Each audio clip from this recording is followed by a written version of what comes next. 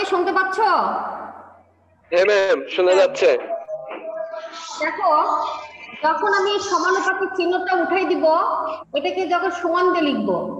সমান দিয়ে লিখব এবং কিন্তু এমনি এমনি উঠে দিতে পারব না। এখানে কিন্তু একটা সংখ্যা যুক্ত করতে হবে। এই সংখ্যাটা হচ্ছে জি হ্যাঁ।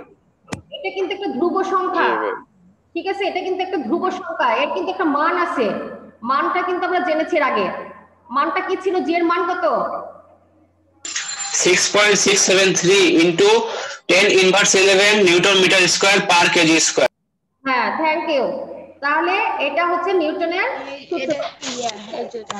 তাহলে এই সূত্রের উপর কিন্তু আমাদের অঙ্ক করতে হবে। জি ম্যাম আচ্ছা তারপরে অভিকর্ষ স্তরণটা আমরা জেনেছিলাম যে অভিকর্ষ স্তরণ বলতে বোঝায় বেগ বৃদ্ধির হারকে বলা হয়। যে একক সময়ে বেগ হারকে বলা হচ্ছে তোমার ত্বরণ। স্টেশন থেকে ছেড়ে দিল, তাই না? তখন একটা নির্দিষ্ট সময় ছেড়ে দিল। তখন তার যে বেগটা ছিল, প্রথমে ট্রেনটা কিন্তু আস্তে আস্তে চলে। তারপর কিন্তু আস্তে আস্তে তার বেগটা বাড়তে থাকে। তাহলে এই সময়ের সাথে বেগ বৃদ্ধির যে হার বলা হয়?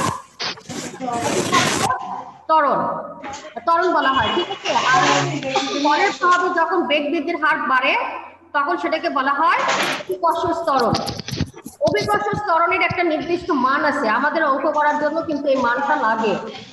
অভিকর্ষ স্তরণের একটা নির্দিষ্ট মানটা কত? কত? নির্দিষ্ট ম্যাম পৃথিবীতে 9.8 হ্যাঁ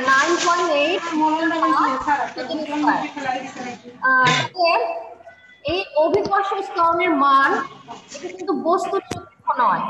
তাই না? বস্তু নিরপেক্ষ নয় এটা হচ্ছে কি? স্থান নিরপেক্ষ নাকি? কোনটা? ম্যাম স্থান নিরপেক্ষ। স্থান ভেদে নাকি? নিরপেক্ষ নয় কোনটা? ম্যাম স্থান ভেদে পরিবর্তন হয় স্থান নিরপেক্ষ। হ্যাঁ স্থান ভেদে এটা পরিবর্তন হয়ে থাকে। যেমন বিষুবীয় অঞ্চলে একরকম মেরু অঞ্চলে একরকম ক্রান্তীয় অঞ্চলে একরকম। এইরকম কিন্তু এক এক জি ম্যাম এক এক রকম হয়ে থাকে। যেমন বিষুবীয় অঞ্চলে ব্যাসার্ধটা বেশি যার জন্য। স্তরের মানটা কি হবে? কম হবে। কম হবে।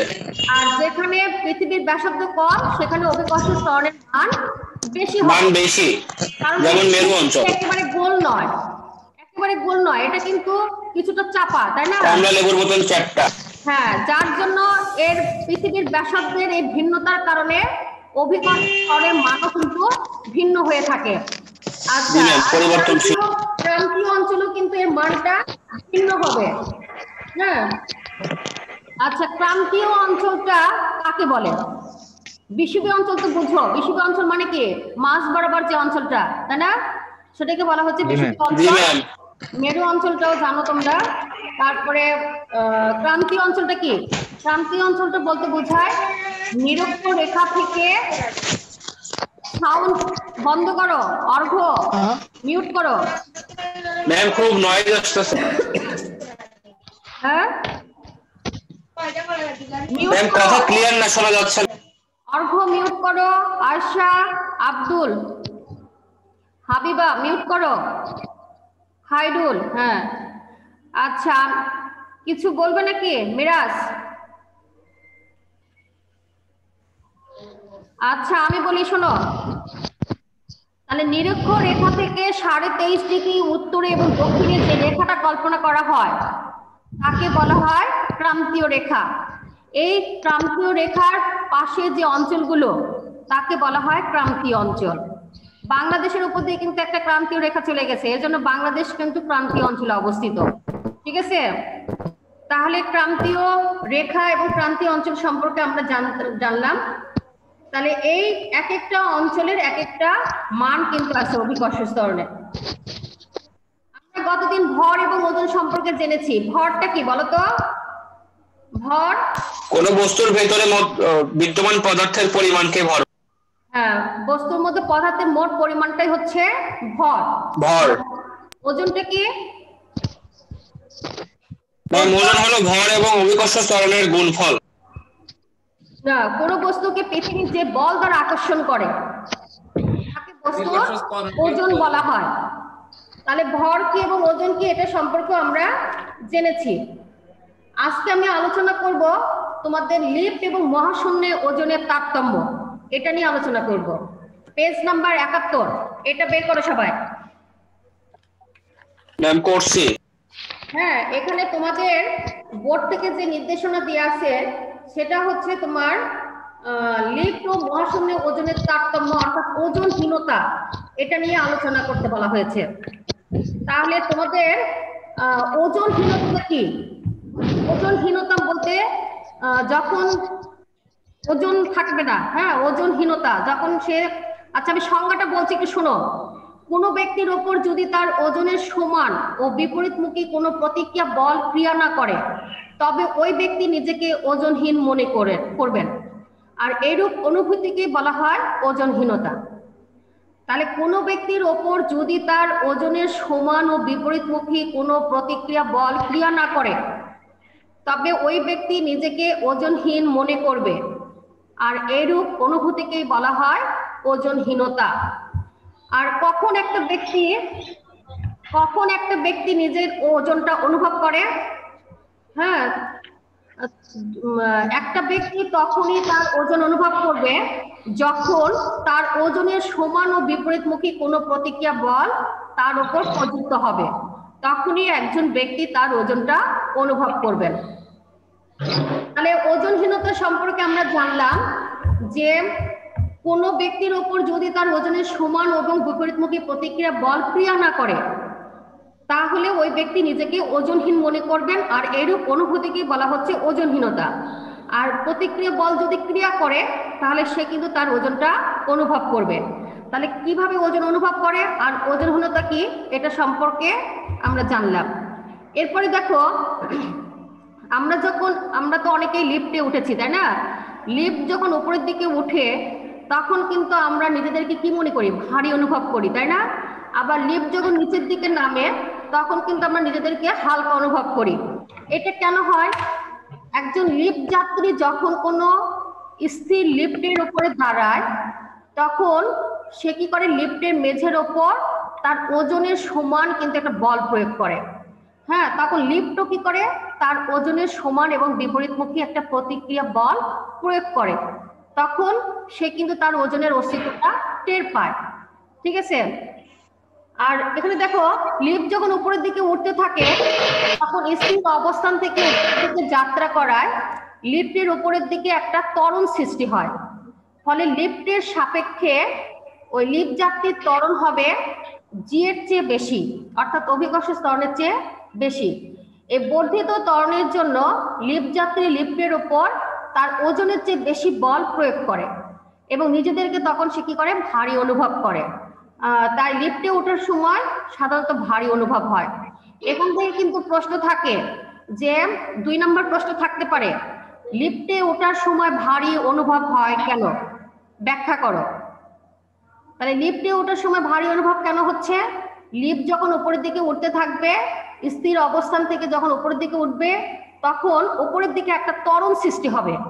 ফলে লিফটের সাপেক্ষে লিফট যাত্রীরও কিন্তু লিফটের সাপেক্ষে তখন ওই লিফট যাত্রীরও ত্বরণ হবে জি এর মানের চেয়ে বেশি। আর এই বর্ধিত ত্বরণের জন্য লিফট যাত্রী লিফটের উপর তার ওজনের চেয়ে আবার বেশি বল প্রয়োগ করে। হ্যাঁ তখন লিফট কি করে? তার উপর বিপরীতমুখী যে প্রতিক্রিয়া বল প্রয়োগ করে, তা তার ওজনের চেয়ে বেশি হয়। তখন সে নিজেকে কি করে? ভারী অনুভব করে। আর এই কারণে বলা হচ্ছে লিফটে উপরে ওঠার সময় ভারী অনুভূত হয়। ঠিক আছে? বোঝা গেল? আর লিফট যখন নিচে নামে, তখন লিফট যাত্রী নিজেকে হালকা মনে করে কেন? লিফট যখন নিচে নামতে শুরু করে, তখন স্থির অবস্থার থেকে একটা ত্বরণ সৃষ্টি হবে এবং লিফটের সাপেক্ষে এই ত্বরণটা তোমার জিয়ের চেয়ে কম হবে। যখন নিচের দিকে নামবে, তখন জিয়ের চেয়ে সেটা কম হবে। এই কম ত্বরণ নিয়ে যখন লিফট যাত্রী লিফটের উপর হ্যাঁ দাঁড়াবে, তখন তার ওজন হচ্ছে কিন্তু কম বল প্রয়োগ করে। ফলে কি করে? সে নিজেকে হালকা অনুভব করে। তাই বলা হচ্ছে লিফট যাত্রী তখন নিজেকে হালকা অনুভূত অনুভব করে। তাহলে আমরা এখানে বুঝতে পারলাম যে উপরে উঠলে ভারী অনুভূত হয় আর নিচে নামলে কেন হালকা অনুভব হয়। ঠিক আছে? আচ্ছা এখান থেকে আরেকটা প্রশ্ন থাকতে পারে। লিফটের দড়ি ছিঁড়ে নিচে পড়ে গেলে ওজনের কি তারতম্য দেখা দিবে কিনা? এই যে আমরা বললাম, ওপরের দিকে উঠলে একরকম ভাবে ভারী অনুভূত হবে, নিচে নামলে তোমার ওজনটা কমে যাবে, ঠিক আছে? আর লিফটের কেবল বা দড়ি ছিঁড়ে লিফটে যদি অভিকর্ষ প্রভাবের প্র- বলের প্রভাবে নিচে পড়ে, তখন কিন্তু সাধারণত এই অবস্থার উদ্ভব ঘটে। এই অবস্থায় যদি লিফটের ছাদ থেকে ঝুলন্ত বা লিফটে দাঁড়ানো কোনো ব্যক্তির হাতে ধরা স্প্রিং নীতি থেকে একটি বস্তু ঝুলিয়ে দেওয়া হয়, তাহলে দেখা যাবে স্প্রিং নীতি কাটা শূন্য দাগে অবস্থান করবে। অর্থাৎ বস্তুটির ওজন তখন শূন্য হবে। ঠিক আছে? তাহলে এই প্রশ্নগুলো এখান থেকে পড়তে হবে। আর বাহাত্তর পেজটা দেখো। বাহাত্তর পেজে দেওয়া আছে, এখান থেকে প্রশ্ন থাকে, মহাশূন্যচারীরা মহাশূন্য জানে ওজন হীনতা অনুভব করে কেন? মহাশূন্যচারীরা মহাশূন্য জানে ওজনহীনতা অনুভব করেন কেন? অথবা থাকতে পারে, লিফটে বা মহাশূন্যে ওজনহীনতার কারণ ব্যাখ্যা করো। তাহলে এখানে আমরা বলতে পারি, মহাশূন্যচারীরা মহাশূন্য যান করে পৃথিবীকে একটা নির্দিষ্ট উচ্চতায় বৃত্তাকার কক্ষপথে, পৃথিবীতে একটা বৃত্তাকার কক্ষপথ, ঠিক আছে? এই বৃত্তাকার কক্ষপথে প্রদক্ষিণ করে থাকে। এই বৃত্তাকার গতির জন্য মহাশূন্য যানের দেয়ালের সাপেক্ষে মহাশূন্যচারীর ত্বরণ শূন্য হয় এবং মহাশূন্যচারী মহাশূন্য যানের দেয়াল বা মেঝেতে কোনো বল প্রয়োগ করেন না। ফলে তিনি তার ওজনের বিপরীত কোনো প্রতিক্রিয়া বলও অনুভব করেন না। তাই তিনি নিজেকে তখন ওজনহীনতা অনুভব করেন। আমি কিন্তু এরপরে অ্যাসাইনমেন্ট নিয়ে আলোচনা করব। তোমরা সবাই একটু মনোযোগী হবে।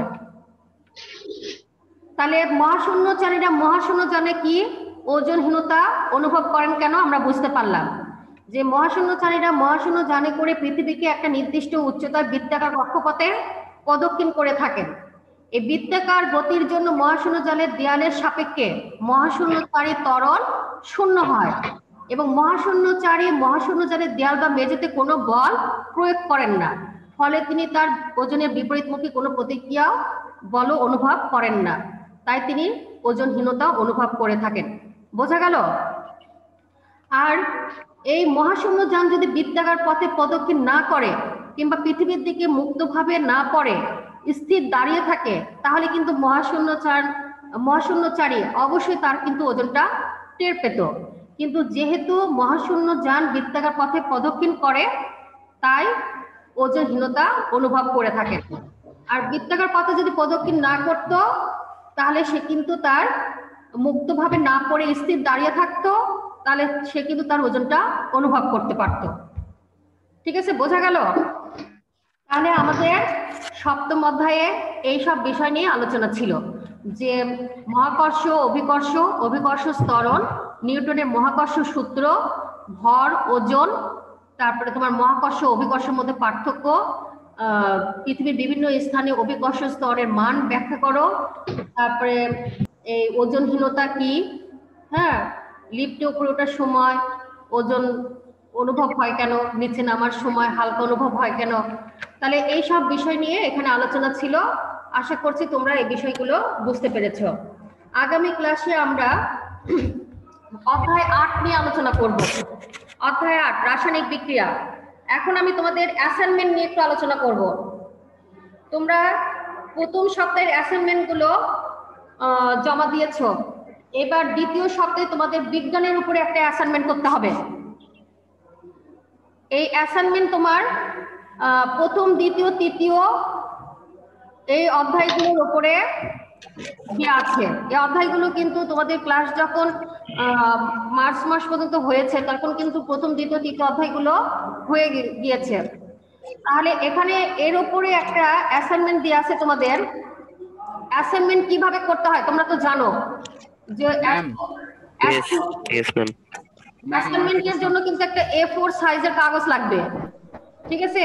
ম্যাম আর এ ফোর সাইজের কাগজ শুধু আজকে তো অ্যাসাইনমেন্ট জমা না কালকে অ্যাসাইনমেন্ট জমা।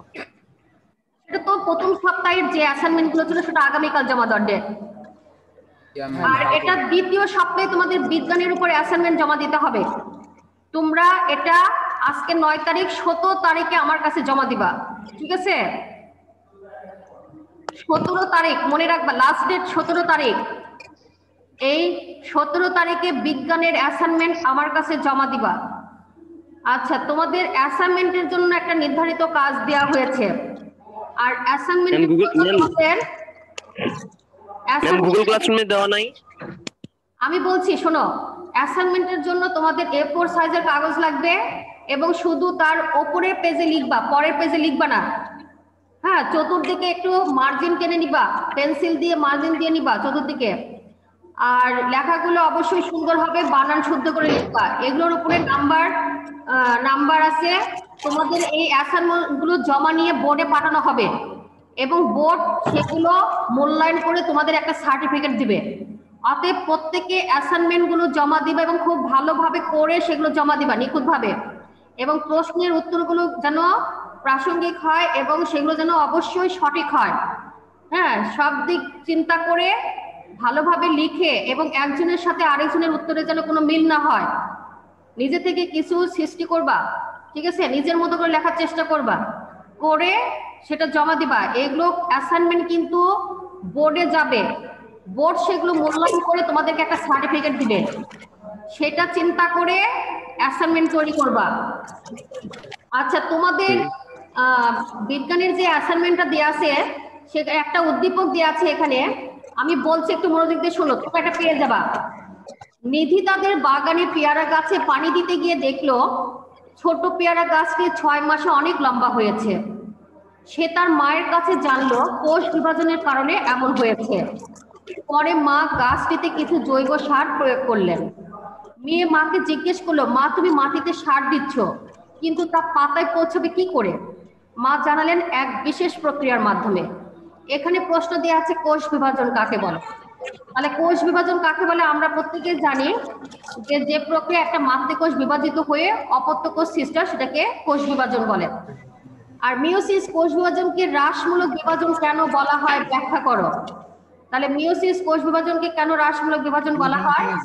কারণ মিওসিস কোষ বিভাজন ফলে মাতৃকোষের নিউক্লিয়াস দুইবার বিভাজিত হয় আর ক্রোমোজোম একবার বিভাজিত হয়। হ্যাঁ যার ফলে তার ক্রোমোজোম সংখ্যাটা কি হয়? অর্ধেক হয়ে যায়। আর এজন্য এটাকে বলা হচ্ছে হ্রাসমূলক বিভাজন। এভাবে সুন্দর করে কিন্তু তোমাদের বইয়ে দেওয়া আছে ব্যাখ্যাগুলো লিখবা।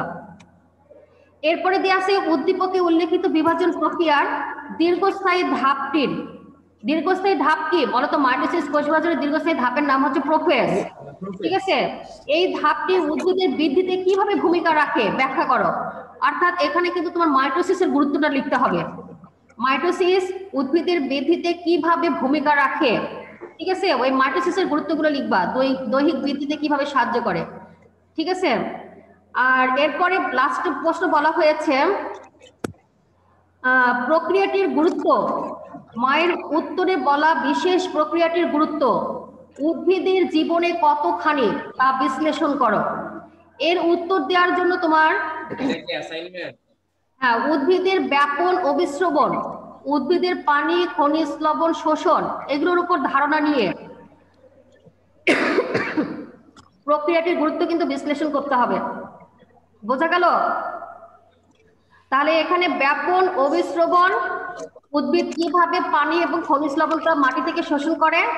এইসব প্রক্রিয়ার উপর ধারণা নিয়ে তোমার এই ঘ নম্বরের উত্তরটা কিন্তু লিখতে হবে। তাহলে তোমরা সঠিকভাবে অ্যাসাইনমেন্টটা তোমরা সম্ভবত গুগলে পেয়ে যাবা ইউটিউবে সার্চ দিয়ে এটা নিয়ে নিও। আর সম্ভবত তোমাদের গুগল ক্লাসেও এটা দেওয়া হবে। হ্যাঁ তোমরা ওখান থেকেও নিতে পারো অ্যাসাইনমেন্টটা অ্যাসাইনমেন্টটা নিয়ে সতেরো তারিখ মনে রাখবা লাস্ট ডেট সতেরো তারিখ। এই সতেরো তারিখে আমার কাছে অবশ্যই সবাই জমা দিবে। এবং যারা এখন পর্যন্ত ক্লাসে অ্যাটেন্ড করে নাই বা অ্যাসাইনমেন্টগুলো করছে না তাদেরকে একটু অবশ্যই জানিয়ে দিবা। কারণ এগুলো কিন্তু বোর্ডে যাবে। বোর্ড কিন্তু তোমাদের সার্টিফিকেট দিবে আমরা না। ঠিক আছে? সেই- সেই বুঝে একটু সবাইকে এটা জানিয়ে দিবা যেন অ্যাসাইনমেন্টগুলো যেন ভালোভাবে প্রত্যেকে জমা দেয়। তাহলে আগামী দিন ক্লাসে আমি তোমাদের অষ্টম অধ্যায় নিয়ে আলোচনা করব। হ্যাঁ? আজ তাহলে পরবর্তী ক্লাসে আবার দেখা হবে। সে পর্যন্ত সবাই ভালো থাকো। ঠিক আছে? আসসালামু আলাইকুম ম্যাম ওয়ালাইকুম আসসালামু। আলাইকুম ম্যাম ওয়ালাইকুম